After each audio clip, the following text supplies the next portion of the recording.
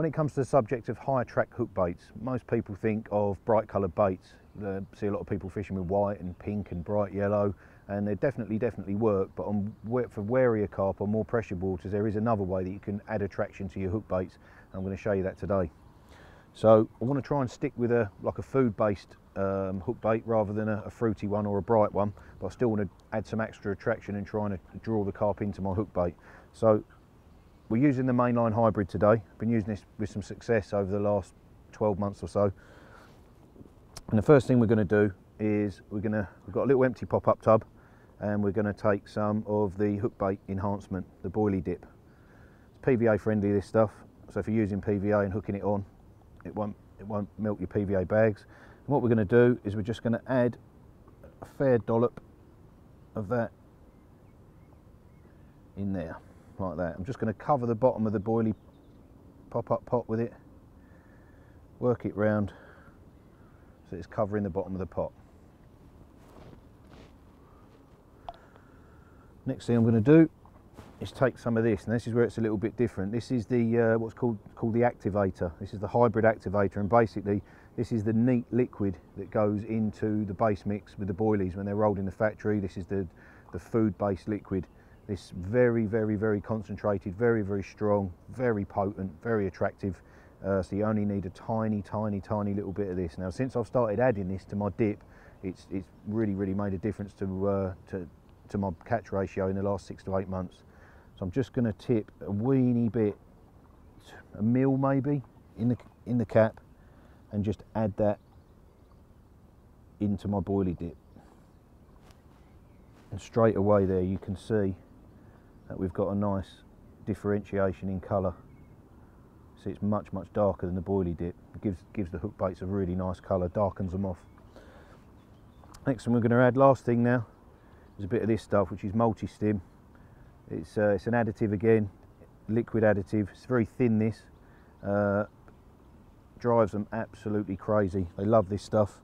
It's good in PVA bags as well. I like it on my hook baits, so we're just going to stick about half a capful of that in as well.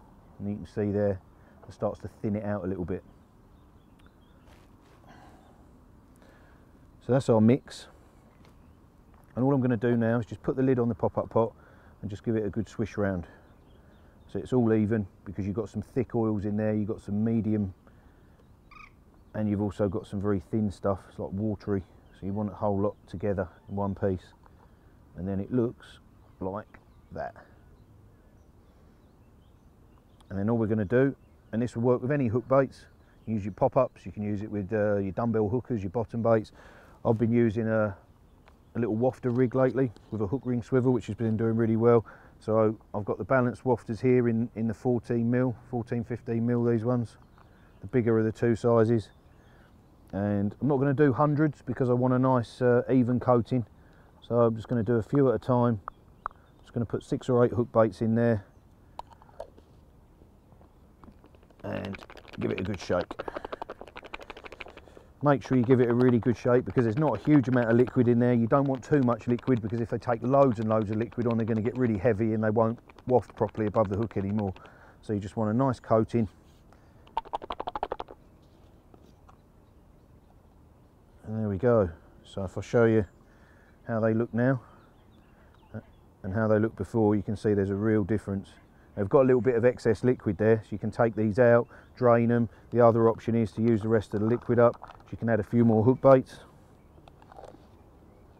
Screw it on tight again, give it a really good shake, get a nice even coat. And these have got some real pulling power now, some serious pulling power. The neat additive, and there we go, you can see there.